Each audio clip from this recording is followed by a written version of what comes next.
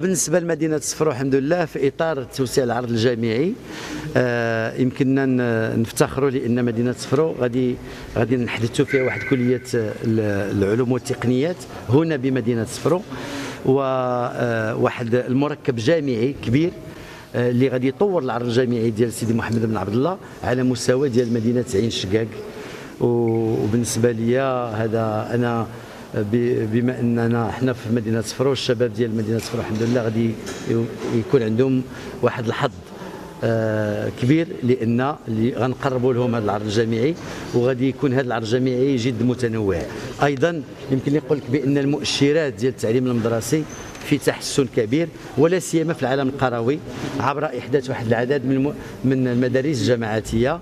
اليوم خصنا أيضا دعم أكثر من مجالس إقليمية باش نزيدوا من النقل المدرسي.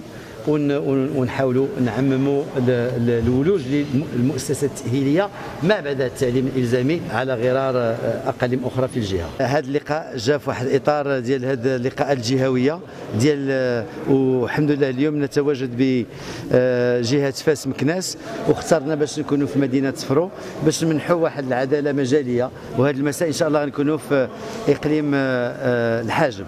اليوم هدف من هذه اللقاءات الجهوية هو واحد اولا تعرف بمدى تنزيل المشاريع بالنسبة للمقتضيات قانون الإطار. ثانيا هو واحد خلق تعبئة جماعية حول هذه المشاريع مشاريع مهمة اللي كتهم من التعليم الأولي التكوين المهني والتعليم العالي والبحث العلمي. ثالثا خلق واحد التعبئه جماعية وتنسيق جهوي لهذه المشاريع. اليوم خاص لابد نخلقوا واحد الدينامية واحد الحماس واحد الالتفاف حول المدرسة المغربية لأن اليوم كاين انتظارات كبرى من طرف المواطنين. دونك عندنا واحد التحديات عندنا رهانات. ما خصش نعطلوا هذا تنزيل الإصلاح.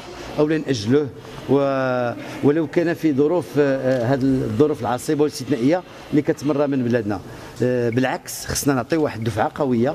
والحمد لله يمكن نقول لكم بأن هذه اللقاءات الجهوية مكنتنا باش نلمسوا الحقيقة ديال التنزيل ديال المشاريع. اليوم الساده رؤساء الجامعات مدير الأكاديمية المندوب الجهوي قدموا واحد العدد ديال العروض وبينوا وبرزوا مؤشرات كبيرة مهمة. شكرا على المشاهدة. إذا أعجبك الفيديو اضغط على زر الإعجاب. لا تنسى الاشتراك في القناة وتفعيل الجرس وتابعنا على مواقع التواصل الاجتماعي. مرحبا بك.